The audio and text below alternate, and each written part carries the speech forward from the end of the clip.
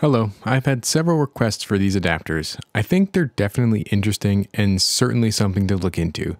So today are two adapters again. The ThunderGo 380 watt USB Mega adapter and the Sabrent 252 watt adapter. The more reasonable choice. The video's a bit later because I had to come up with some more test setups to be able to fully load these chargers. I pushed my AC power supply to the limit too. These two are similar in that they both have 8 USB ports. The distribution of ports is different, and the modes of operation are different, and how they negotiate power is different. But they're kind of similar in that they're both very high power USB adapters. I mean, 250 watts is already a lot, but 380 watts in one USB adapter, I think it's a legit number. We'll find out if it can keep that power level up or if it's just another overheating brick. Efficiency, voltages, and more will be checked throughout the video. It's going to get technical, so ask questions if you have them. There is an affiliate link which earns me a couple percent but costs you nothing in the description, as well as links for more information. Many thanks to my patrons and channel supporters. The detailed data is on Patreon.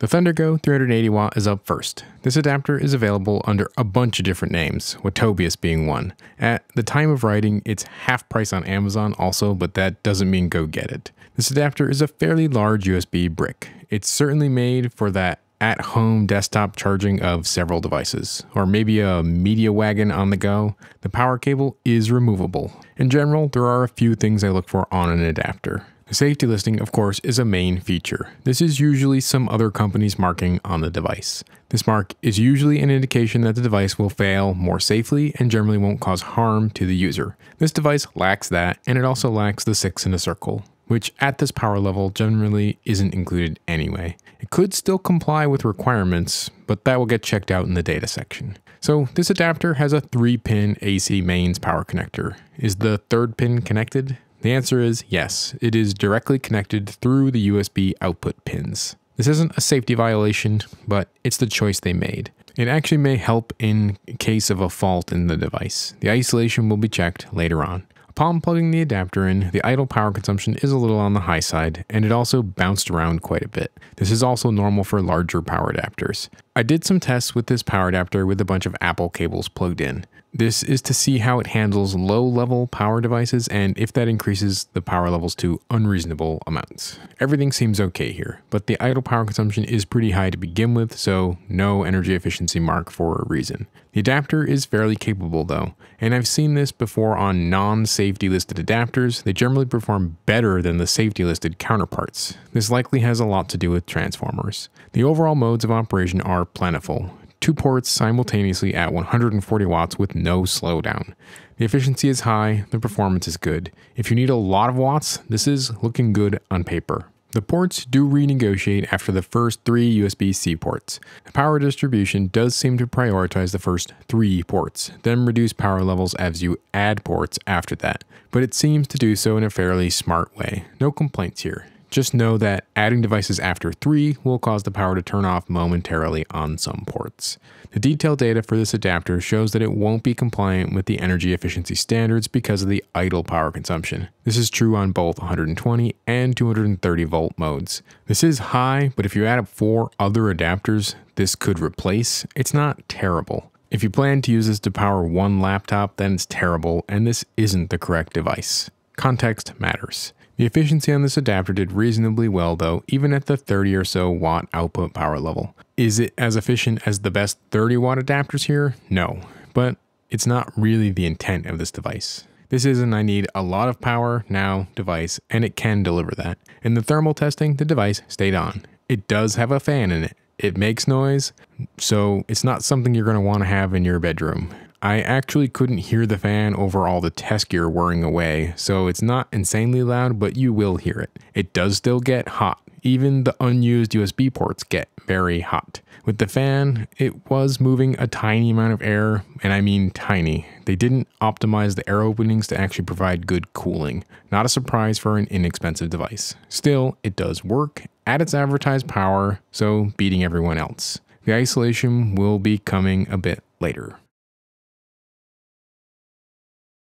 Next up is the Sabrent 252 watt USB power adapter. This adapter is a bit different in that it has four USB-C ports and four USB-A ports. I first heard of this in a level 2 Jeff video and then a bunch of people asked about it in the comments, emails, the usual spots, so I picked one up to check it out. This adapter is surprisingly compact for what it is. 252 watts just to be marketing more than 250 watts. I'm going to call it 250 watts, which is what it can do from the USB-C ports. The device does have a safety listing through UL, so it is checking the boxes of meeting basic compliance and regulation requirements. There is again no mark for efficiency on this product, and again, at this power level, it is common to not see it, but it may meet the requirements anyway. In looking at the fairly comprehensive user manual for this thing, they talk about the power modes and distribution of power, and it gets really complicated. So I just took pictures of the user manual, and here's the first part of the table, and yeah, it's a bit confusing. This is the first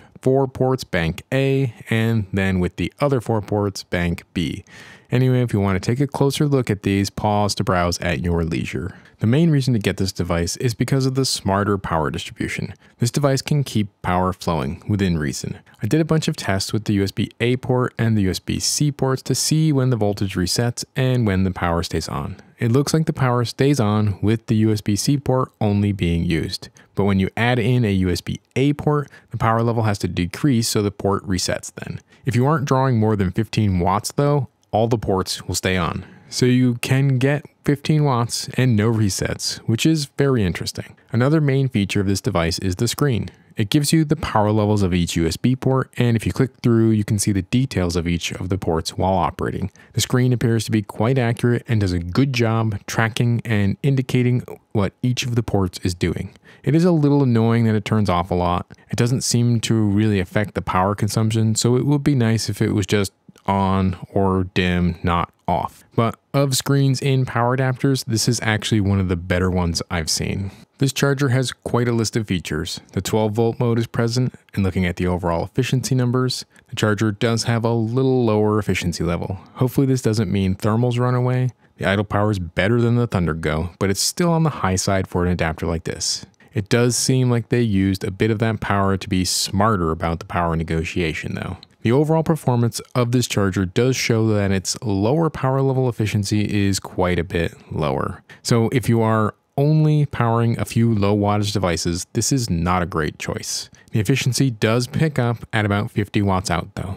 On 230 volts, the efficiency is a little better as expected. This and the ThunderGo do both have power factor correction. What's that? PFC, or power factor correction, is a technique to make sure that the current consumed by the device is the same shape as the voltage. These help improve efficiency, and it's important that these line up at higher power levels. The Sabrent does have an issue here. While it's a bit of an odd shape for sure, at least it mostly lines up. Better than a lot of the others I have seen for most of the operation time.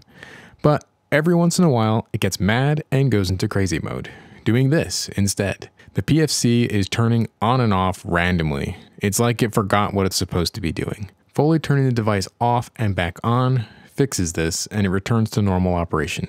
But there's no real way for the user to know that the device sometimes doesn't work correctly. This could create a long-term issue. Thermally, this charger did fine. It gets hot, no doubt, but it does have the vents on the side, so it can get at least some of that heat out. It's a hot potato, but it can certainly handle the rated watts, as long as the PFC circuit stays on. Okay, time to compare these chargers. These chargers are big ones, so I'm going to compare to what I've tested for larger chargers. The Anker 240 watt, the Ugreen 300 watt, and of course, a few others. The ThunderGo is the biggest charger I've ever tested though, and it was a challenge for sure. In terms of isolation, which is the thing separating the dangerous side, the mains, from you on the low voltage side, these both do okay. The ThunderGo does have a direct earth connection to the USB ground pins on the ports, so keep that in mind. The leakage will be shunted through this path. In either case, though, Nothing really sets off any alarm bells here. The ThunderGo without a safety listing is a bit of an unknown in terms of performance at higher voltage, like transient events. In terms of the weight, the ThunderGo is actually quite lightweight. The cable weighs about 100 grams and the adapter with cable makes it one of the lightest with the power level.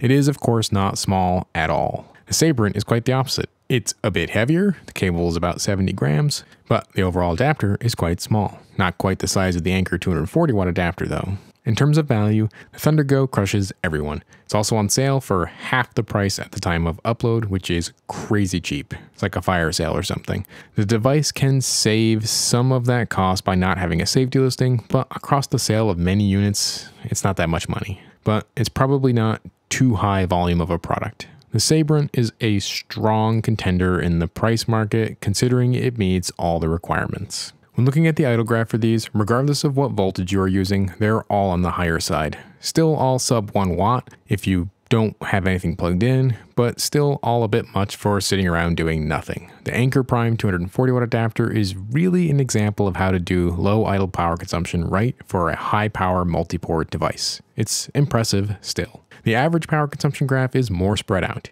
Here we see the Sabrent take the lower spots on the chart. It was still not terrible, greater than 90%, and stronger numbers at the full power level, so suffering a bit of single number rating itis here. The other end of the scale, the ThunderGo, is running away with it though, taking some of the top spots for efficiency. This even has a fan running and got these higher numbers. The efficiency is on par with the Apple 140 watt adapter, which is a very efficient adapter.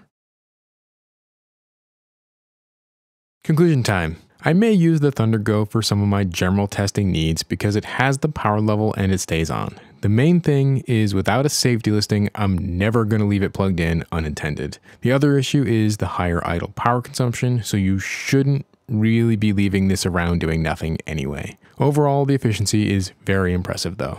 I've seen this before from other adapters without safety listings. With its fan and the noise that comes with it, it can stay on though. So it says 380 watts on the box and it can do 380 watts, which puts it a good bit ahead of its competitors. The outputs are earth connected and the isolation checker didn't find anything out of line for AC leakage current, so it seems okay. Would it survive a transient test or pass RF interference test or other things? No idea. The Sabrent is an interesting device. It has very clever power distribution, which is very welcome in a higher power USB brick. The split of the two sides is also smart because it lets you pick which ports are doing what and get the most out of the adapter without concerns of the power turning off. Now, if you want it as a device for all low power USB devices, it's kind of wasteful because at no negotiation, for example 5 volt only mode, it's really only a 120 watt adapter, but it will power many 5 volt devices without complaint. For testing needs, the screen is nice and accurate. It has the safety listing, it has a lot of prerequisites for power adapters, it stays on, and it has reasonable isolation. The idle power is on the higher side, and the efficiency is not class leading, but as a test device or something you have on an off switch, it may make the grade. It's going to beat the pants off of a low grade wall wart. That's about it. Two more power adapters. Let me know if one of these meets a requirement for you and what you think of these in the comments. Thanks for watching. There's links in the description. Goodbye.